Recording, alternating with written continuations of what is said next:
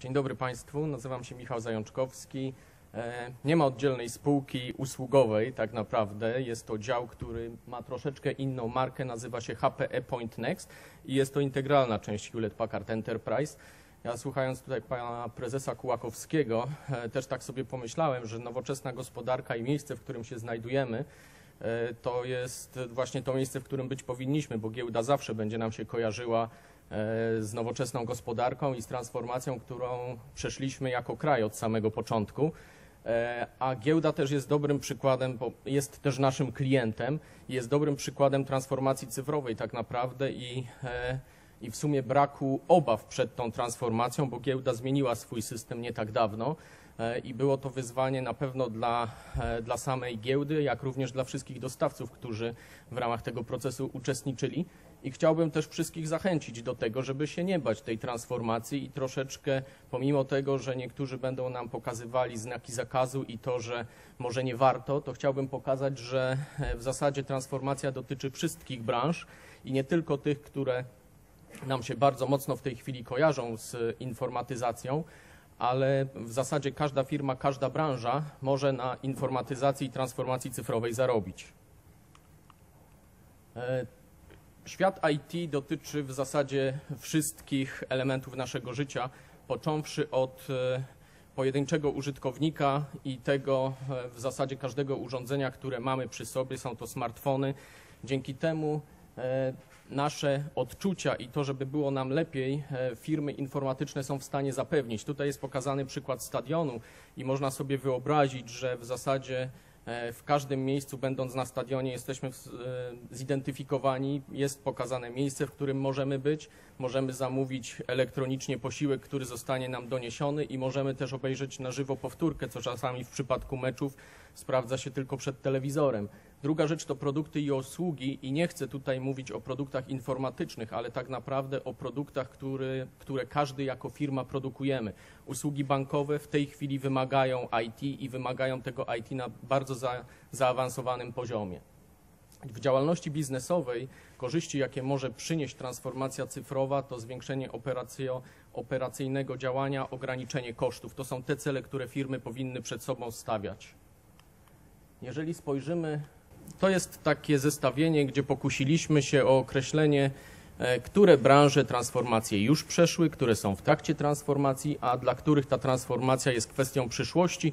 Nazwaliśmy to symbolicznie, że są gotowe do transformacji. To niekoniecznie jest obraz Polski i można tutaj dyskutować na temat poszczególnych branż, natomiast chyba wszyscy zgodzimy się, że książki czy kupowanie książek, muzyki wygląda w zupełnie inny sposób niż wyglądało jeszcze jakiś czas temu. Jeśli chodzi o branżę handlu detalicznego, to też to wygląda zupełnie inaczej, bo w zasadzie ten handel przeniósł się do internetu.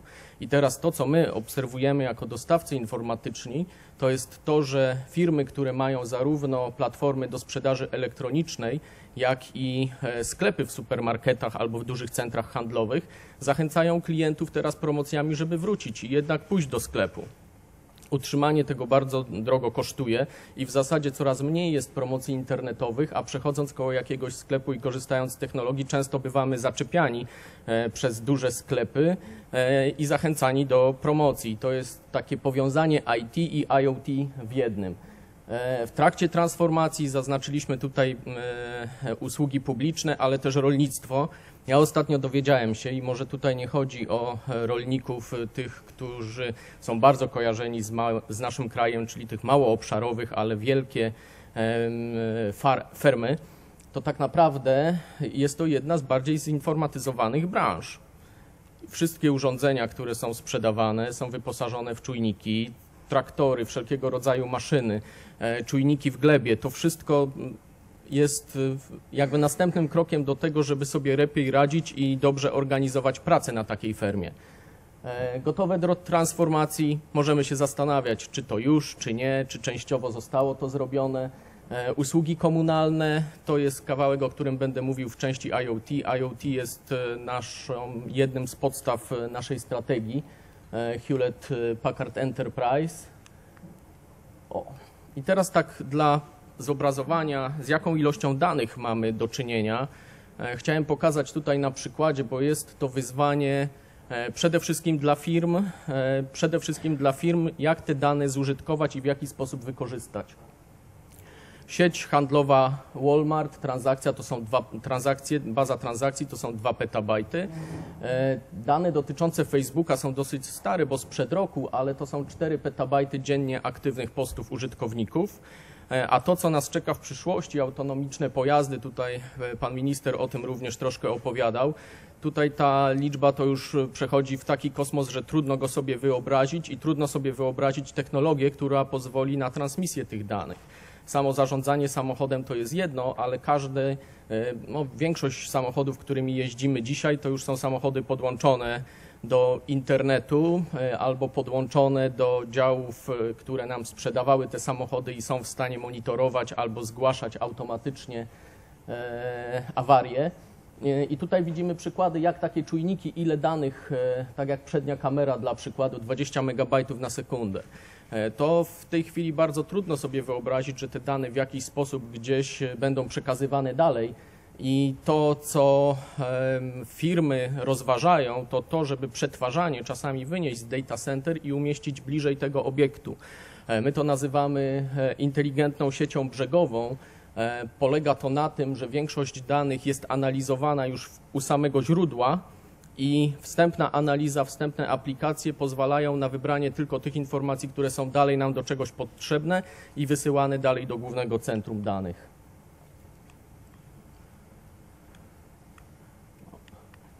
Teraz pojechałem za daleko.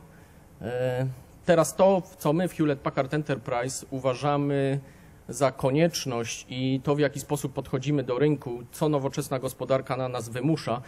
E, Patrząc od lewej strony, wszyscy wiemy, że większość aplikacji, może nie większość, ale musimy decydować, które będą przenoszone do chmury.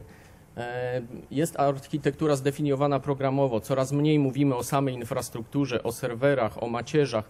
Częściej mówimy o tym, w jaki sposób to wszystko skonfigurować i jak biznes powinien skorzystać na tym, że jesteśmy w stanie dostarczyć moc obliczeniową albo pojemność dyskową szybko. E, W drugiej kolejności mobilność to jest coś, co nas dotyczy.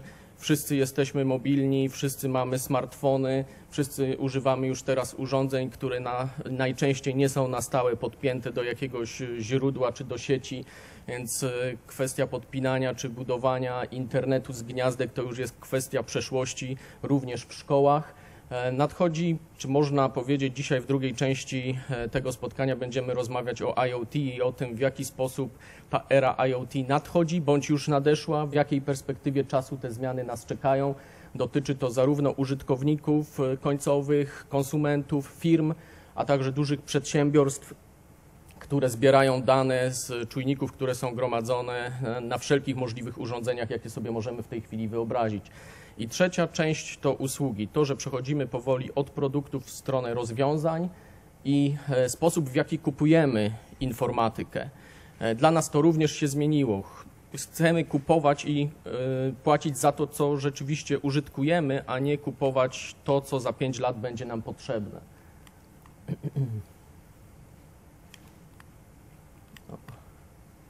Się naklikam. Teraz y, pod, podstawą strategii Hewlett Packard Enterprise jest to, że my wierzymy, że świat jest hybrydowy. Nie wierzymy w to, że wszystkie aplikacje w tej chwili można przenieść do chmury publicznej i w ten sposób dalej żyć.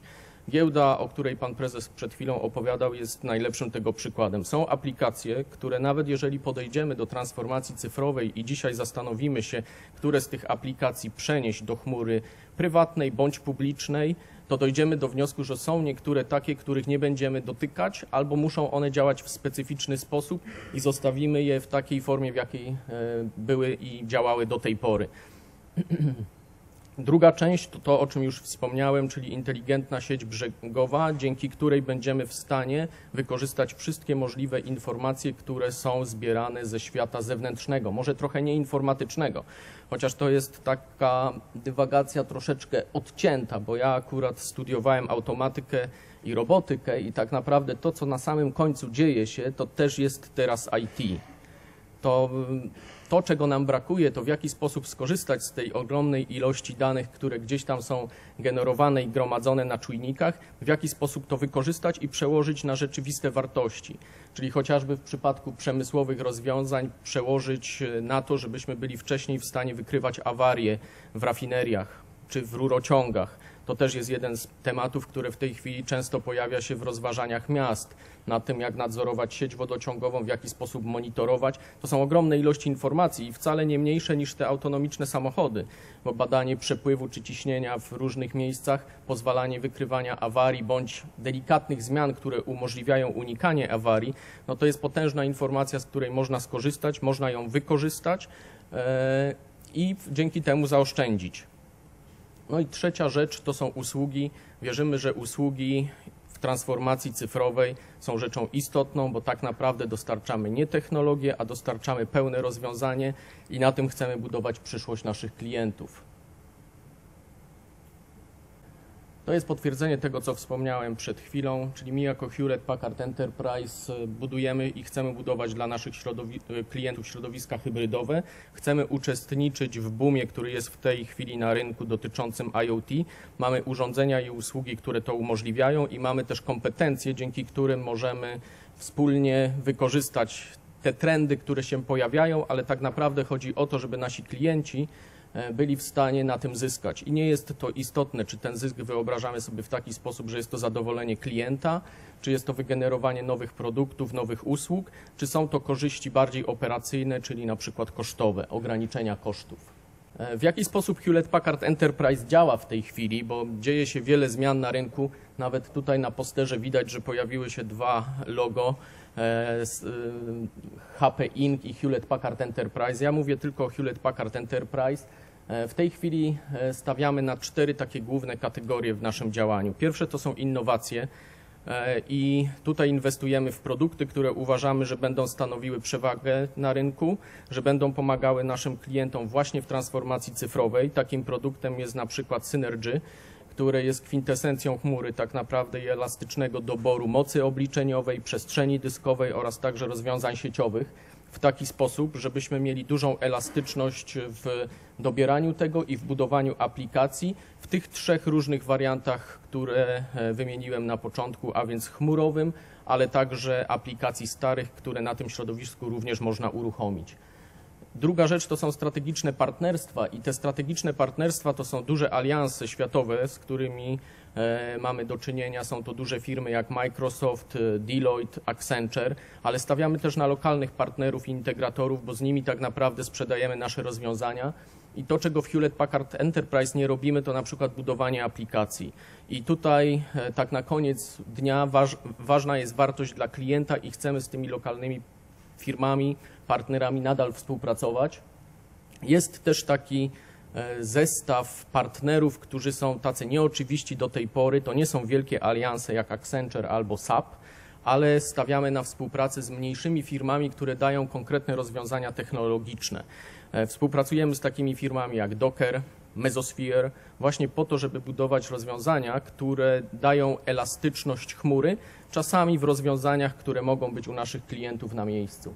Mm, następne dwie rzeczy to są akwizycje, czyli te przemyślane akwizycje, które pokazują trendy na rynku. Przejęliśmy firmę Aruba, która dostarcza rozwiązania sieciowe, e, sprzedaje dobre rozwiązania dla e, kampusów, ale też to, o czym wspomniałem, inteligentna sieć brzegowa.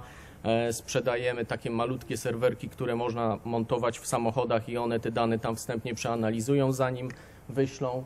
E, optymalizacja to są te wszystkie zmiany i te pytania, o których też postanowiłem wspomnieć e, tutaj, bo tak naprawdę firma się zmienia i według e, tego, co ja sobie myślę, to wracamy trochę do korzeni, czyli rzeczywiście do tego, że stawiamy na nas sprzęt i usługi, które są blisko tego sprzętu i chcemy w ten sposób się spozycjonować na rynku. Nie chcemy sprzedawać wszystkiego, chcemy mieć konkretne rozwiązania dla konkretnych rzeczy, a te rzeczy to właśnie hybrydowe IT i Intelligent Edge.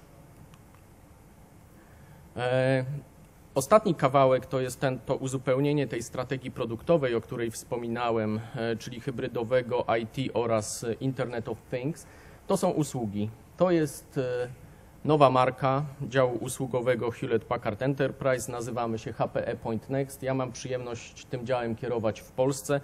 E, Po staremu jeszcze przed zmianą, bo ta zmiana jest od kwietnia, to, była, e, to był dział, który nazywał się Technology Services i obejmował consulting i e, usługi wsparcia serwisowego. Z punktu widzenia pozycjonowania na rynku to jest w tej chwili to samo. Będziemy się zajmować trzema głównymi kategoriami, które tak naprawdę obejmują pełen cykl życia rozwiązania IT. Zaczynamy od doradztwa w transformacji, czyli chcemy pokazywać naszym klientom, co i w jaki sposób transformować i jak to będzie najlepiej zrobić dla firmy w krótkim czasie bądź w dłuższym horyzoncie czasowym.